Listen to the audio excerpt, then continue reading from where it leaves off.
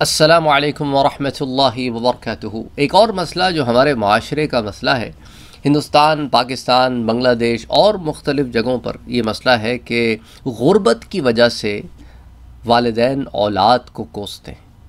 اور خاص طور پر زیادہ تر وقت چونکہ ماؤں کے ساتھ گزرتا ہے اور ماں جذباتی ہوتی ہیں، تو وہ کبھی کبھی یا بہت سارے گھروں میں جہالت کی وجہ سے ایسے نازیبا الفاظ زبان سے ادا کرتی ہیں جو ایک ماں اپنی اولاد کے لیے نہیں کرتی یا نہیں کرنا چاہیے۔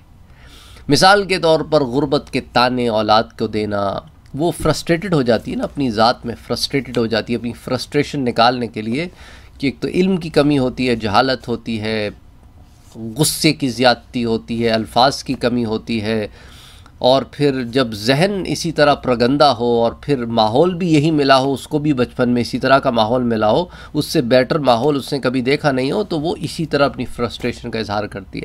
اول یہ کہ ماں باپ جب اس طرح کی کوئی سخت بات کرتے ہیں تو they don't mean it in کا مطلب یہ نہیں ہوتا۔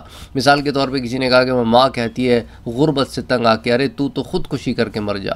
معاذ اللہ معاذ اللہ، کوئی ماں نہیں چاہتی کہ اس کا بچہ اپنی جان لے۔ یہ وہ ایسے الفاظ ہیں جو وہ غصے میں کہہ دیتے ہیں، کہنے نہیں چاہیے۔ میں اس کو ڈیفینڈ نہیں کر رہا، لیکن آپ سے یہ کہہ رہا ہوں دے ڈونٹ مین اٹ دوسری بات یہ کہ ماں باپ کو ایسے الفاظ اولاد کے بارے میں نہیں کہنے چاہیے۔ اچھا یہ جو بچہ اس دنیا میں آیا ہے، یہ آپ کی مرضی سے آیا ہے؟ میں ماں باپ سے پوچھتا ہوں، آپ کی مرضی سے آیا ہے؟ آپ لے کے آئے بالکل نہیں۔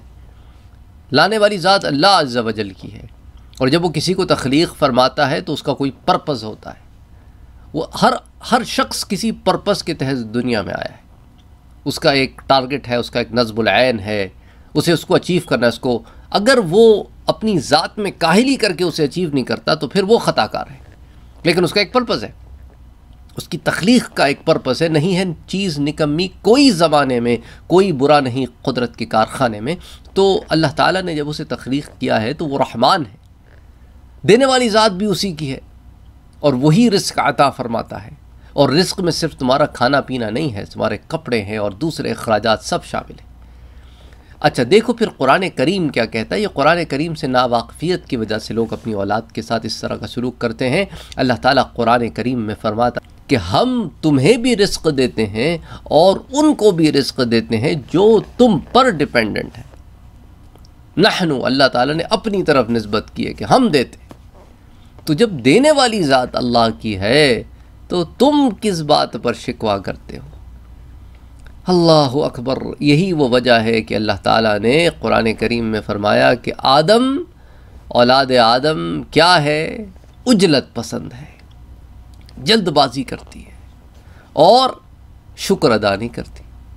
وہ چیزیں جو ہیں، اس پر شکر گزار نہیں ہیں، جو نہیں ہیں، اس پر گلا کرنے والی ہے۔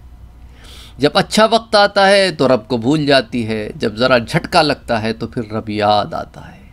اور صحیح معنوں میں اس کے ماننے والے جو ہوتے ہیں، وہ اس کو ہر حال میں یاد رکھتے ہیں۔ تو بہرحال ماں باپ سے میرا یہ کہنا ہے کہ آپ اس طرح کے الفاظ اپنی اولاد کے لیے نہ استعمال کیا کریں۔ یہ قرآن اور حدیث اور سنت رسول صلی اللہ علیہ وآلہ وسلم کے مخالف عمل ہے۔ حضور اکرم صلی اللہ علیہ وآلہ وسلم نے اخلاق پر خاص طور پر زور دینے کے لیے کہا ہے اور یہ عمل اخلاق سے باہر کا عمل ہے۔ امید کرتا ہوں کہ اس سے اصلاح ہوگی معاشرے میں اور ماں باپ اپنے رویے پر غور کریں گے اور اولاد ان باتوں کو اتنا لٹرلی نہیں لیں گے اور کوشش کریں گے کہ حرام کاموں سے بچیں، گناہوں سے بچیں۔ اور بعض دفعہ کیا ہوتا ہے کہ اولاد اپنی کاہلی اور نا اہلی کی وجہ سے ماں باپ کا دل دکھاتی ہے۔ تو اولاد کو چاہیے کہ محنت کرے، آگے بڑھنے کی کوشش کرے، لگن کرے۔ اللہم صلی وسلم وبارک علی سیدنا و حبیبنا و شفیعنا محمد صلی اللہ علیہ وسلم۔ السلام علیکم ورحمت اللہ وبرکاتہ۔ اگر آپ نے ابھی تک ہمارے چینل کو سبسکرائب نہیں کیا ہے تو سبسکرائب کا بٹن دبائیں، بیل کے آئیکن کو پریس کریں تاکہ آپ کو ریگولر نوٹیفیکیشن اپڈیٹ مل سکے اور آپ ہمیں ہمارے لائیو سیشنز میں بھی جوائن کر سکیں۔ ویڈیو پسند آنے کی صورت میں لائک شیئر اور کمنٹ کرنا نہ بھولیں۔